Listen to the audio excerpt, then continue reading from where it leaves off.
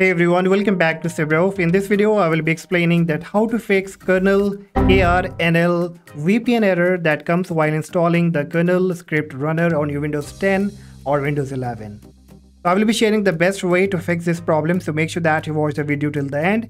And if this worked for you, do not forget to like and subscribe. So basically what happened that whenever you try to download the kernel and install it, you get an error message while installing that says could not connect to the server. Try using a vpn right? And many people even reported that uh, while downloading this they are not able to get the option of installing. So how you have to fix any related problem related to kernel on your windows 10 and windows 11 what you need to do first you need to disable the security from your windows and from your chrome browser. So on your windows 10 or 11 click on the search box type here virus then click virus and threat protection. Now here click on manage settings under virus and threat protection settings. Disable real-time protection cloud delivered protection automatic sample submission tamper protection. This will be disabled for a while. Then from the left menu option click on firewall and network protection. Then click domain network and disable defender firewall.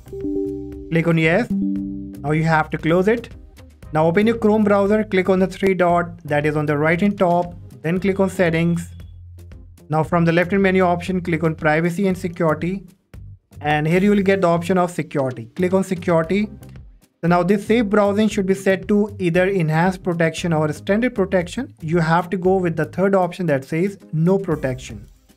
Choose this option, click on turn off. And then you have to close your Chrome browser and then you have to reopen it once opened, again you have to open the kernel website. Then click on download. Then click on the latest version download kernel. Now you will be getting this option block dangerous, but after disabling the security, you will be also getting this option of keep. Okay, you have to click on keep. And once it's been downloaded, you have to open the folder. Make sure now you don't have to install it. You just need to open the folder where it's been showing the downloaded file okay? So next you need to enable the VPN on your Windows PC and laptop okay? So don't go with any kind of extension VPN extension. The one that I would recommend you that you should go with Proton VPN that's absolutely free and that will be surely doing your job okay? So I will leave a link in the description. You can come to this Proton website. You can just sign up and download this application VPN for free okay?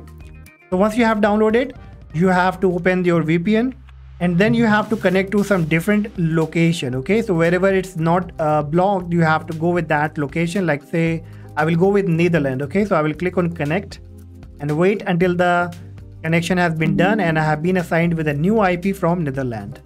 Alright so now it's been connected. I can minimize it and again open the folder where my kernel has been downloaded. Now you have to click on the kernel beta and you will see now there won't be any kind of error message and it's been successfully downloaded and now coming up. Now you can run any kind of script that you want.